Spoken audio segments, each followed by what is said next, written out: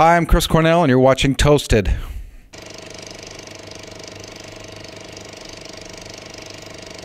How is everyone? I'm fine. How are you? Good. so you came over today, huh? Isn't it? Yeah, we From just. Paris because you live there. Um, I live in Paris, but we actually came from from uh, London because I was doing some interviews in London. So we came there this morning. Came here this morning. How was that in London? Good, you know. I heard you play some acoustic songs instead of four. You played eleven. Did I, it might have been eleven, yeah, or ten. I, I was supposed to do four, but it um, it was for Radio One. You know, it. Uh, Joe Joe Riley or something? Or? It's um, Zane Lowe is the show, and and uh, I've known him for a- for a few years, doing interviews with him. Um, but you know, the format tends tends to be a band where the band shows up. Audioslave's done it where you show up and you have to set up all your equipment and then do a sound check and check the drums and the bass and this and that, and so you get about five hours to do it. Yeah. Um, and you only and had then your few- and then you play your songs, and and, uh, and but if you just show up with an acoustic guitar, you have five hours. I didn't have anything else to do, so I like I think I took a nap because I had jet lag. For like so slept for an hour and then got up and did like ten or eleven songs. Um, Which one did you do? I haven't heard them. You heard you heard them on the internet. I heard like you you just came home and then you saw it on the internet or something. Was it right?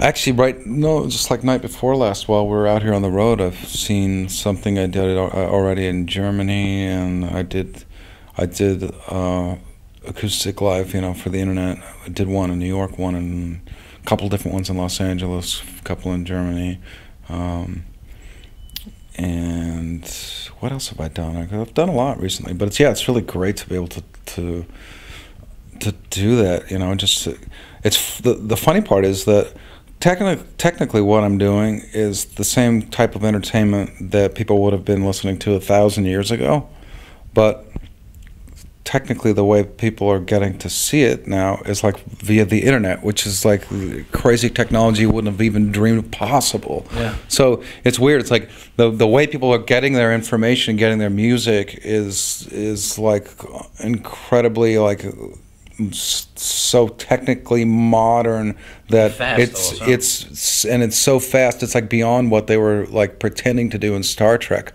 But the actual entertainment is a guy sitting on a chair with an acoustic guitar and no amplification, singing and playing a song.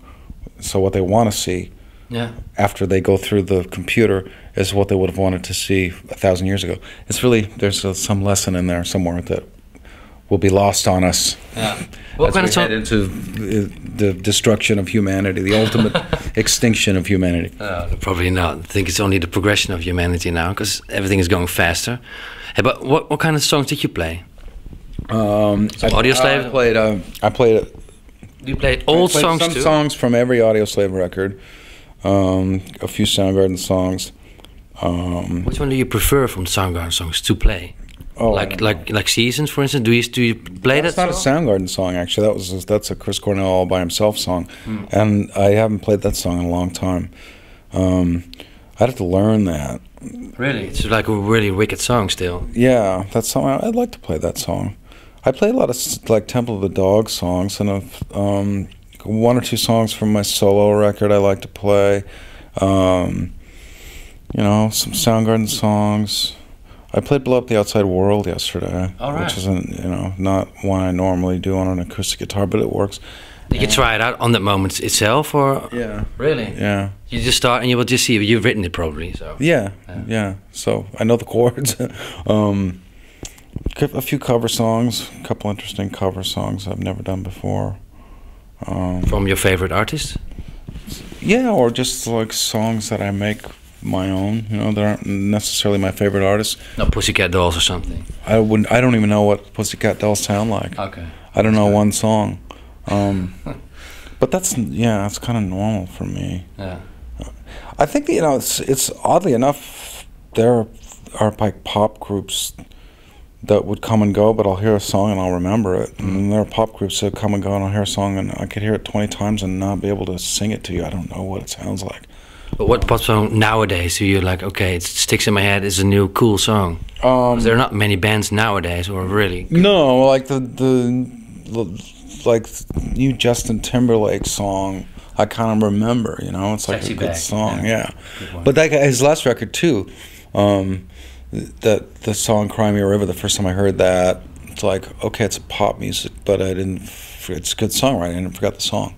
Um, but also, you know, like the like I think Christina Aguilera had some good songs. I don't know. I mean, I don't think she writes them, but I would remember them. And whereas Britney Spears, I don't honestly can't say I remember a single song that she's ever done. Hmm. Um, and that's not judging whether they're good or bad. I'm just saying I can't remember them. No, exactly. And why is that? Because I actually have a really good memory for music usually. Hmm. Um, I write songs in my head. I don't even. I don't even um, like record them to remember them. I just, Really, you just just remember them. yeah, and so it's strange to me when I hear a song that's a hit song five, ten times, and I, I don't know what it is. You know, I can't remember it. I c- Weird, isn't it? It's very weird. Also, the new uh, Audioslave album, uh, Revelations, a great record, very good production, great melody lines. Again, I think a bit more progressive also in your singing wise because you need you try more like um, double singing and double voices more than the other records. Did you write some songs your own way, your old fashioned way, on your guitar? Oh, the, the For on this this album? record, there's one song I wrote all of it. Nothing left to say but goodbye, and the rest of it it's the same as usual. I, there's two songs, one or two songs on the last record that I did alone. One maybe I can't remember. No, there's two, and and um, but still, it's not like, for example, with Soundgarden, I would record a demo at home and then bring a tape in and like you know just bas- basically say you know if you want to do this song we'll do it this way otherwise if you don't want to do the song we won't do it. Um, and with Audioslave it's it, even though i ha- had written it i would still just kind of show them the song we work it out as a band. Um, and so that not having to demo a song is less certainly less work.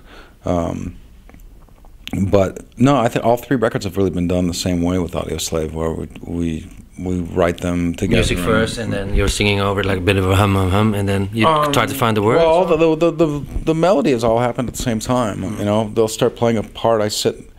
Well, typically, someone will start playing a part. Brad or or Brad and Tom or Brad and Tim start playing a, a you know a riff or a part or chords or whatever, and then they'll all kind of work on it. And I'd sit on the couch like this in front of the band, and I don't say or do anything. I just sit there, Watching. and I fight the urge to say anything because I usually want to say something right away, um, and I don't say anything because it you know it will go somewhere, and they'll be working on it and changing things, and I don't do anything, and then I'll sort of formulate in my head what what I think the song is inside whatever it is they're doing. I'll hear something, and I'll then and I'll still wait a good half hour or so, and and think about a vocal melody, and then I'll then I will at some point get up and say, "Could you please try to do this Yeah. and do that that way and repeat it?"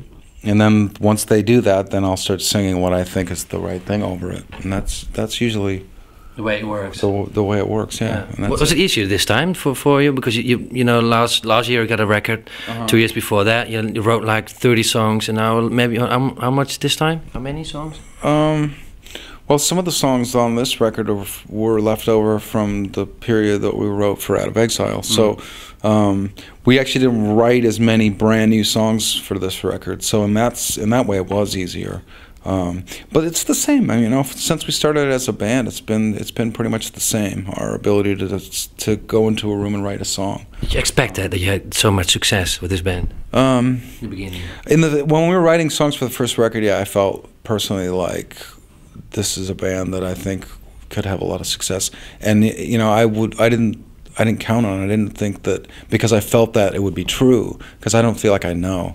Um, I don't think that I'm really in touch with what a large group of people are going to like, and I, I It was just I a never- feeling for yeah, yourself. Yeah, it was a feeling. I felt like they should. You know, like they sh- people should like this because I do. And uh, you know, I felt like maybe I could be wrong, but th- that was my feeling.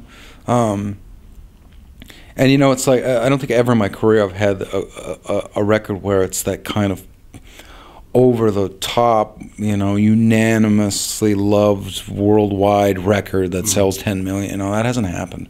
But 5 million has happened, 6 million has happened, and that's a lot. And that's without having like like uh, hit radio kind of songs.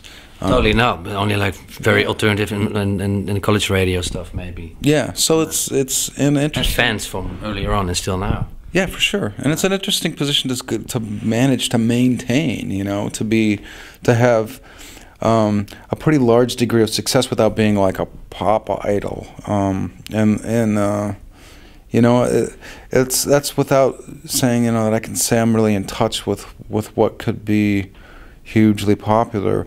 But I think that being um, inspired by whatever it is that that I do or we do as a band means that someone out there will probably be inspired by it too. And that's the rule I've always kind of gone by, and it tends to be true. Mm, yeah.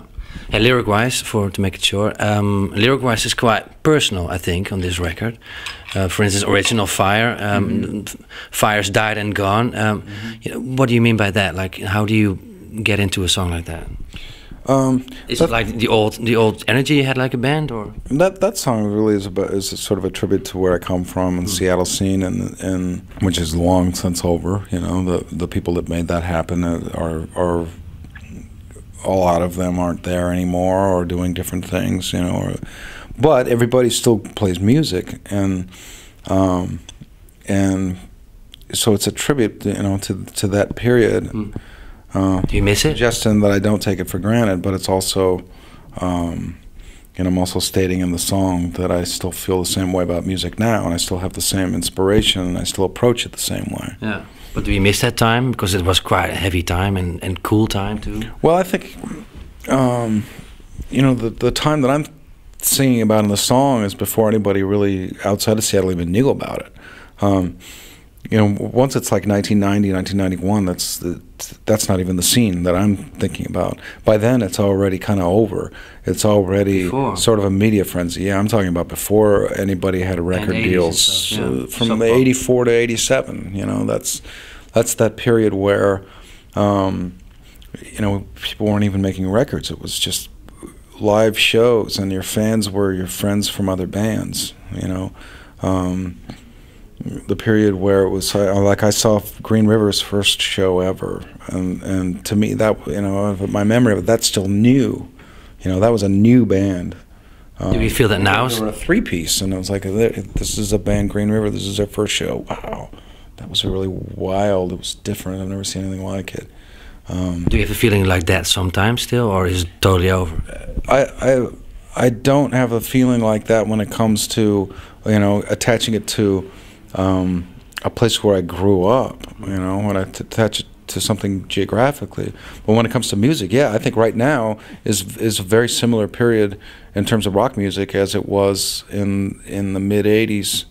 Um, in the United States, with with a very vibrant, very healthy indie rock scene, um, or something that w- that was underground, and you know, the word underground have you know you heard that a lot. Oh, they're an underground band, Yeah, yeah, yeah. an underground band. That was cliche. Yeah, yeah. Soundgarden got letter letters of rejection from record labels saying, you know, you're you're too underground. Okay, whatever the f- that's supposed to mean. Um, you know, th- that was also before alternative became a music genre. Um, alternative basically meant any kind of music that's not on pop hit radio. Um, then alternative became kind of a style. Um, where it tended to be sort of jangly guitars and and nothing that would be considered aggressive or or inherently male, you know. Um, and uh, it was before all of that, but I, I still feel I feel that there's a vibrant rock scene going on right now that's been going on for a while, and it's just not. Um, What's your favorite on this moment? it's not. Um, I think like the the the last White Stripes record sort of uh, sums up, in my opinion, like everything that's great about it. Um, the the recordings, the the freshness, the playfulness of it, the the inspiration, um, the, the fact that like take it apart, put it back together. It's just like only two people in a band. Just even that, Yeah. looking at it that way, is a different approach. After one question, when can we expect you back here? Because uh, we think we want to see you all playing soon. Um, yeah, I don't know. We, we have plans. We don't have any concrete plans, but sometime next year. Next year. Yeah. All right. Tonight, which songs are you going to play? Pardon me? Which songs are you going to play acoustic? Oh, I have no idea. No. No. You're going to sit there and you'll see. Yeah. Oh. Yeah. I'll think about it later. Cool man. Thank you so much. All right. Thank you.